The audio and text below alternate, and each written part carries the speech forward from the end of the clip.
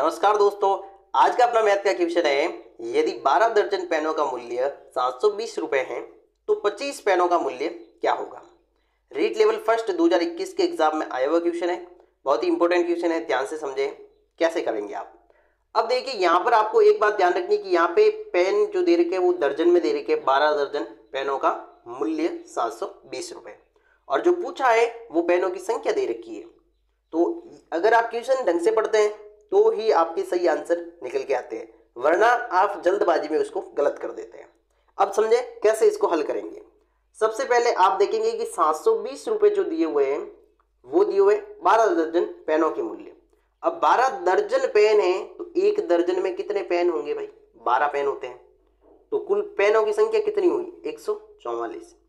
ध्यान से सुने, बारह दर्जन पेन थे और एक दर्जन में बारह पेन होते हैं। इसलिए मैंने बारह गुणा बारह करके एक सौ चौवालीस पेनों की संख्या निकाली है।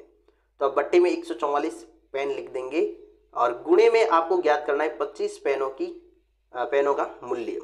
ठीक है?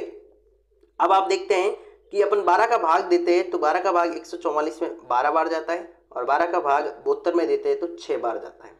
इसका मतलब ऊपर क्या बचा? साठ, नीचे बचे बारह। तो साठ बट्टा बारह करते हैं तो बार पंजे साठ आएगा, यानी कि अब पाँच बार ये भाग चला जाएगा। कहने का मतलब ये हुआ कि यहाँ पर एक पेन की कीमत कितनी आएगी? पाँच रुपये आएगी। ठीक है? अब आपको पूछा है पच्चीस पेन का मूल्य तो पाँच इंटू पच्चीस कर दीजिए, आपका आंसर आ जाएगा। तो यहाँ पर ये निकल के आएगा एक सौ पच्चीस रुपये ठीक है? यही आपका फाइनल आंसर होगा। एक सौ पच्चीस रुपये पच्चीस पेनों का मूल्य होगा। तो यदि इस क्वेश्चन में कोई भी डाउट रहे तो आप कमेंट ज़रूर करें।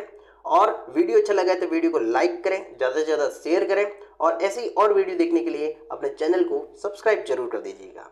तो मिलते हैं अगले वीडियो में।